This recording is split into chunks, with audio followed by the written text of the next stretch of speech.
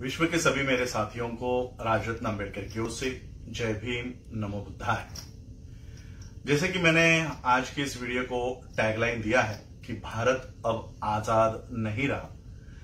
ये खबर, ये रिपोर्ट मेरी नहीं है या भारत के किसी एजेंसी की नहीं है। ये रिपोर्ट वर्ल्ड के सबसे महत्वपूर्ण फ्रीडम हाउस जो वॉशिंगटन में स्थित है, ये उस संस्था की रिपोर्ट है।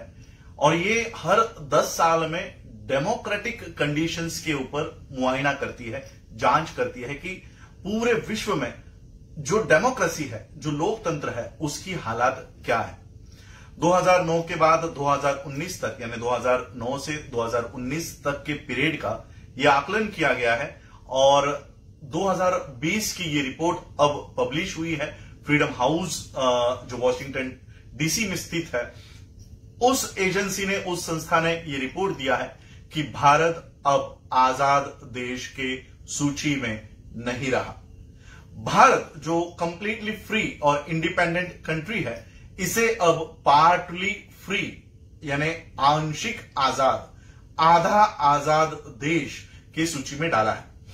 जिस देश के प्रधानमंत्री 18-18 घंटे तक काम कर रहे थे जिस देश का प्रधानमंत्री छप्पन इंच का सीना होने का दावा कर रहे थे और जो काम पाकिस्तान नहीं कर पा रहा था जो काम चाइना नहीं कर पा रहा था वो काम इस देश के प्रधानमंत्री ने आ, किया है। और जो आज़ादी जिसके लिए भगत सिंह शहीद हो गए उन्होंने अपनी जान दे दी। कितने सारे फ्रीडम फाइटर्स हैं जिन्होंने इस देश को इस मुल्क को आज़ाद करने के लिए अपनी जान दे दी है, अपना लहू बाया है। ऐसे देश की आज़ादी हम बहत्तर साल के बाद खो रहे हैं। और ये वर्ल्ड की एजेंसी की रिपोर्ट है। कोई गोदी मीडिया जी न्यूज़ एबीपी आज तक, मुझे नहीं लगता इस रिपोर्ट के बारे में ये लोग कोई बात करेंगे। सोशल मीडिया पे जो लोग न्यूज़ चला रहे हैं। केवल वही लोग ये न्यूज़ आप लोगों तक पहुँचा रहे हैं। और इस रिपोर्ट में यहाँ तक कहा गया है कि किस तरह से ये, हालाँकि ये रिपोर्ट 2020 तक की ही है। इसमें 2020 का जो आखिरी मंथ है, वो इसमें इंक्लूड नहीं है। अगर वो भी इंक्लूड किए गए होते तो मुझे नहीं लगता कि ये एजेंसी इंडिया को पार्टली फ्री के लिस्ट में डालती। ये कंप्लीटली ये आज़ाद खो चुका है आज़ादी खो चुका है इस लिस्ट में। शायद ये दर्ज करवाती क्योंकि उसमें किसान आंदोलन भी शामिल हो जाता। अब इस आ, रिपोर्ट में केवल सीए का आंदोलन शामिल है एनपीआर का आंदोलन शामिल है कश्मीर का मुद्दा शामिल है। सिर्फ़ इन तीन मुद्दों के ऊपर भारत की आज़ादी की स्टेटस जो है जो स्थिति है, इसको पार्टली फ्री के रूप में इसको डाल दिया गया है। इस रिपोर्ट को आप लोग पढ़ सकते हैं। गूगल पे ये अवेलेबल है। फ्रीडम हाउस की रिपोर्ट आप लोग पढ़ सकते हैं। कुछ मोटे मोटे पॉइंट्स में आप लोगों को बताना चाहता हूँ। प्रधानमंत्री नरेंद्र मोदी जी के काल में रिजाइन में फ्रीडम ऑफ़ एक्सप्रेशन ये खतरे में आ गया है इस तरह से रिपोर्ट में दर्ज है। यानी अगर हम सरकार की आ, उनकी गलत नीतियों के ऊपर अगर हम बात रखते हैं तो उसे राष्ट्रद्रोह के मामले में देशद्रोह के मामले में फंसाया जाता है। सेडिशन के चार्जेस उसके ऊपर लगाए जाते हैं ये रिपोर्ट कह रही है।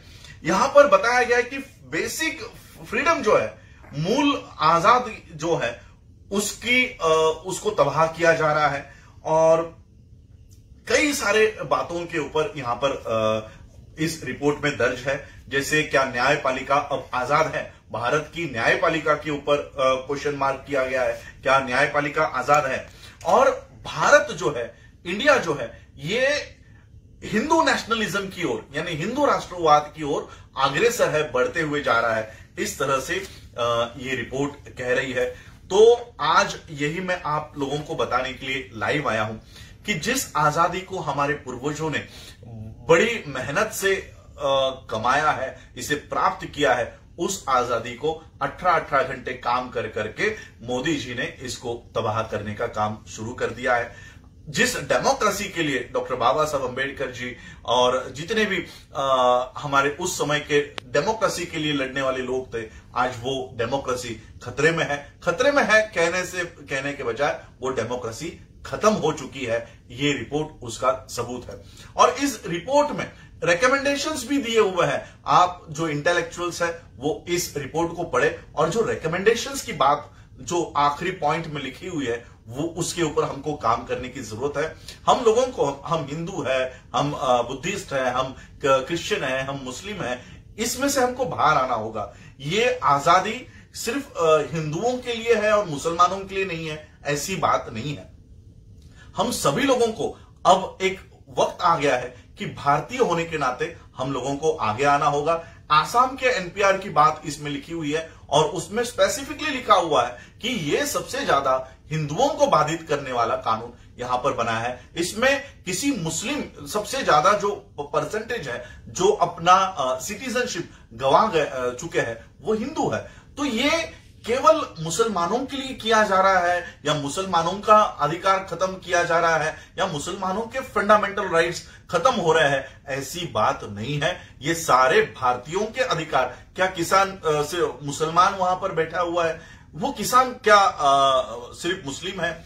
वो हिंदू है? अपने आप को हिंदू आइडेंटिफाई कर रहा है? किसानों के अधिकार जा रहे हैं?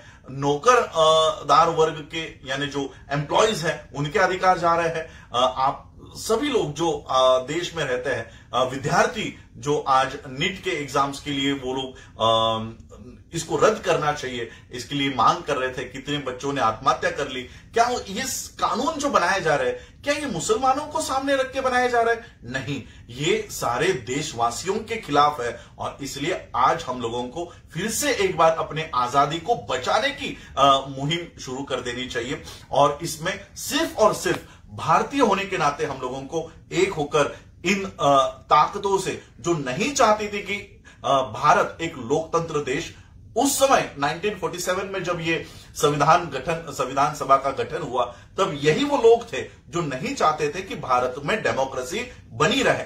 और आज उन्हीं के हाथों में ये देश चला गया है। और वो अपने 1947 के पहले के एजेंडा के ऊपर काम कर रहे हैं। इस देश का डेमोक्रेसी, इस देश का लोकतंत्र को खत्म करने का काम कर रहे हैं। जो रिकमेंडेशंस इस रिपोर्ट में दी है, हमको उसके ऊपर काम करने की ज़रूरत है।